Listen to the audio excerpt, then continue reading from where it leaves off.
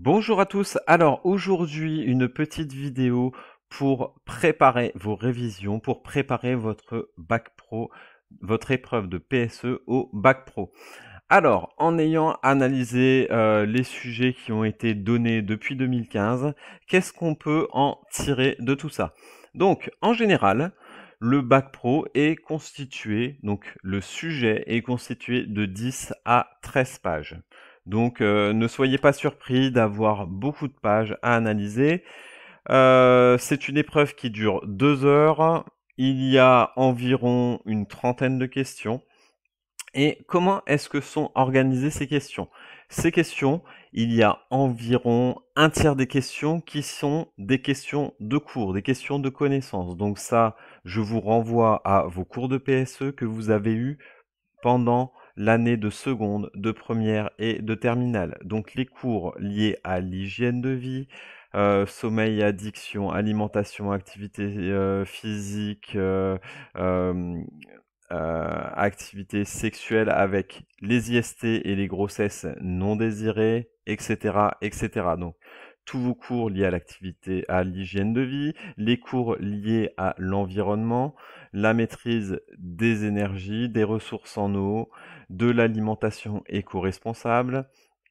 Donc ça, c'est des, questions de connaissances qu'on va vous poser. Donc ça, effectivement, il faut ben, regarder mes vidéos, il faut réviser les essentiels à retenir en vous posant des questions pour mieux apprendre.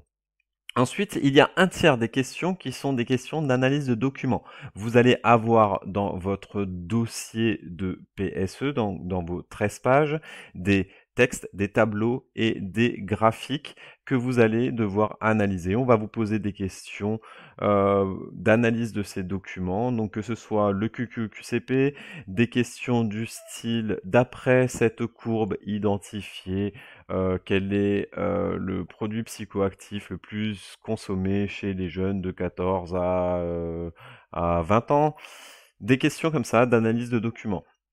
Donc, euh, donc euh, ça, c'est des compétences que vous avez acquis, ne, pas seulement en PSE, mais aussi dans les autres matières, en histoire géo, en français, en maths, euh, en maths sciences. donc, c'est généralement des questions auxquelles vous répondez assez facilement. Et la dernière famille de questions qu'on peut vous poser, c'est des questions d'analyse de situation et de méthodes de prévention, que ce soit des préventions de risques professionnels ou des préventions de risques liés à l'hygiène de vie, liés aux risques majeurs, liés à la vie quotidienne. Alors justement, en parlant de ces méthodes de prévention, quelles sont les méthodes de prévention les démarches de prévention que vous connaissez, que vous avez vues pendant votre cursus, qui tombent le plus souvent. Alors, le QQO-QCP, ça tombe dans 80% des cas. Donc en général sur, euh, sur 2-3 euh, points. Donc le QQO-QCP, je vous le rappelle, qui, quoi, où, quand, comment, pourquoi. Vous avez une situation et on vous pose des questions qui est la victime, quand est-ce que, enfin, quoi, c'est quoi le danger, où est-ce que ça se passe, quand est-ce que ça se passe, comment l'accident il est survenu et pourquoi il faut s'en protéger. En général, c'est ça les questions. Deuxième méthode d'analyse qu'on peut avoir dans le sujet, c'est le diagramme d'Ishikawa ou diagramme cause à effet ou diagramme en arête de poisson. Donc ça, ça tombe dans 20% des sujets, mais vous pouvez tomber dessus au bac euh, cette année. Donc euh, c'est euh, là, c'est le diagramme cause-effet. Donc diagramme en arête de poisson, vous identifiez les causes, vous les regroupez par famille de causes, et toutes ces causes-là, dans, dans notre situation, elles entraînent l'effet indésirable qui est l'accident, la maladie professionnelle.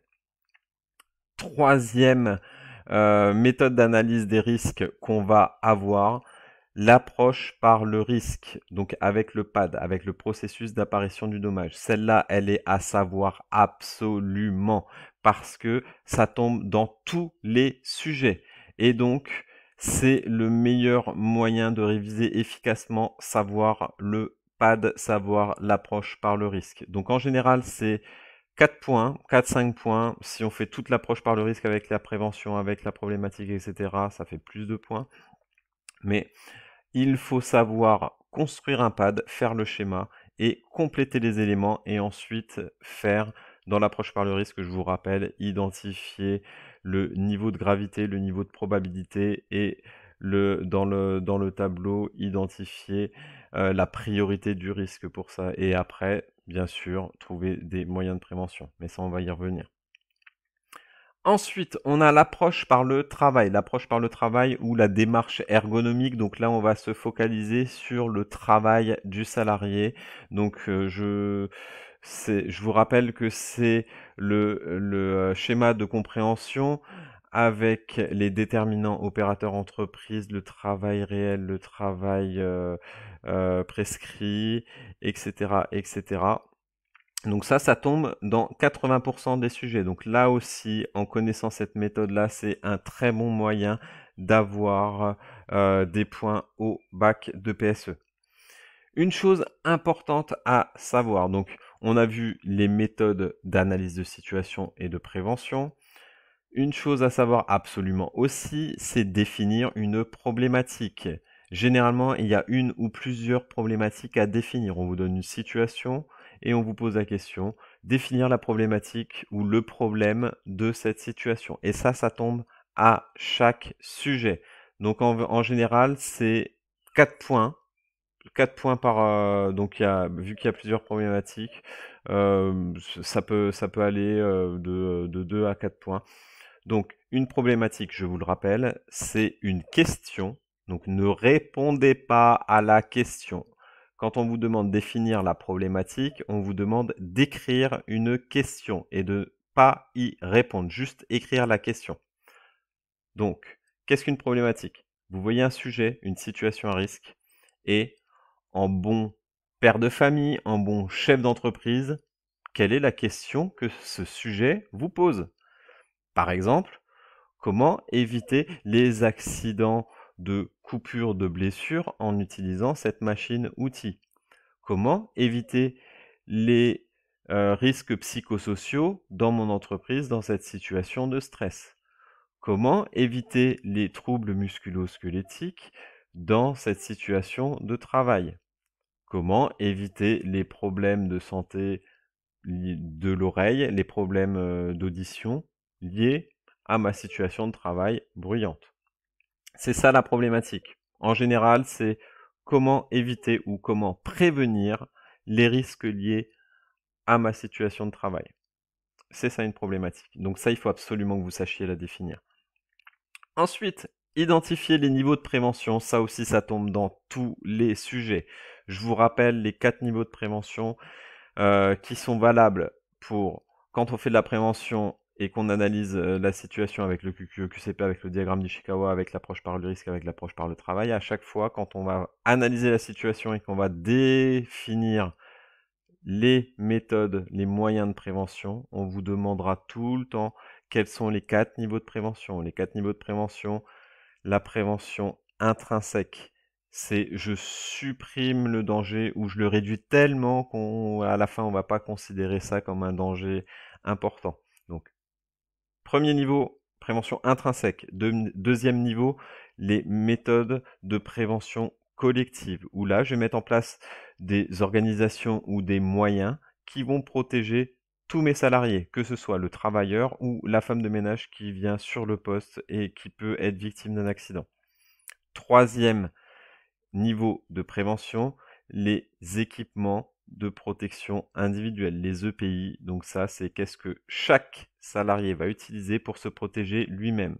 le niveau de prévention individuelle, c'est qu'est-ce que moi j'utilise moi pour me protéger moi de l'accident qui va m'atteindre moi. Moi, moi, moi, moi, moi. Et dernier niveau de prévention, tout ce qui est affichage, formation, information. Donc ça, on sait que c'est pas super efficace, mais c'est le dernier niveau de prévention. Donc ça va être les formations professionnelles, les affichages sur le poste de travail, les affichages, les pictogrammes, attention, danger, etc. qu'on va trouver sur les postes de travail. Donc ça, c'était la partie prévention. Ensuite, une question qui revient une fois sur deux, c'est de déterminer la notion, de connaître la différence entre un accident du travail et une maladie professionnelle. Un accident du travail, je vous le rappelle, c'est je vais au travail, je suis en pleine forme le matin, je vais au travail, il, se passe quelque chose, quelque chose de soudain, de d'impromptu, quelque chose euh, de vraiment qui arrive sur le coup et qui va entraîner un dommage sur ma santé. Donc un accident du travail, c'est je vais bien, il se passe un truc et je, ma santé, elle est affectée. Et ça, c'est immédiat, c'est quelque chose de soudain. Par contre, une maladie professionnelle, c'est quelque chose qui va mettre assez longtemps à s'installer. Donc pour que ce soit qualifié comme maladie professionnelle, donc on pense au cancer, à la surdité, on pense aux intoxications chroniques, etc., etc. Donc pour que ce soit qualifié comme une maladie professionnelle, il faut que ça corresponde au tableau des maladies professionnelles. Donc pour chaque profession, il y a un tableau des maladies professionnelles. Si ça tombe pas dans ce tableau, c'est pas considéré comme une maladie professionnelle. Donc après au niveau des thèmes euh, liés à l'hygiène de vie, euh, euh, c'est aléatoire. Hein. c'est vraiment aléatoire, donc de temps en temps donc sur les addictions, le sommeil, l'alimentation, l'activité physique, le système de santé.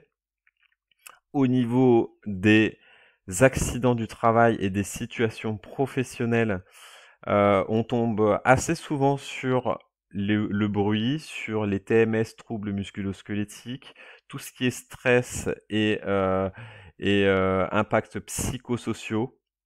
Donc euh, généralement, c'est des thèmes qui sont souvent, souvent abordés, mais on peut tomber sur des thèmes enfin de situations professionnelles qui sont liées à l'ambiance thermique, l'ambiance lumineuse, l'ambiance sonore, donc ça c'est le bruit, etc., etc. Donc c'est pas exhaustif du tout. Et au niveau environnement, on peut tomber sur bah, la maîtrise des énergies, la pollution, de l'eau en particulier. Donc merci beaucoup euh, d'avoir euh, d'avoir suivi cette vidéo. Donc je vous conseille bien sûr pour la partie euh, pour la partie des contenus de regarder les courtes vidéos qu'il y a sur la chaîne. pour la partie méthode aussi, donc vraiment le plus important, les méthodes, l'approche par le risque, etc. Tout ce que j'ai détaillé dans cette vidéo. Donc euh, je vous souhaite de bonnes révisions et euh, j'espère euh, que, que le bac se passera bien pour vous. Merci beaucoup, au revoir.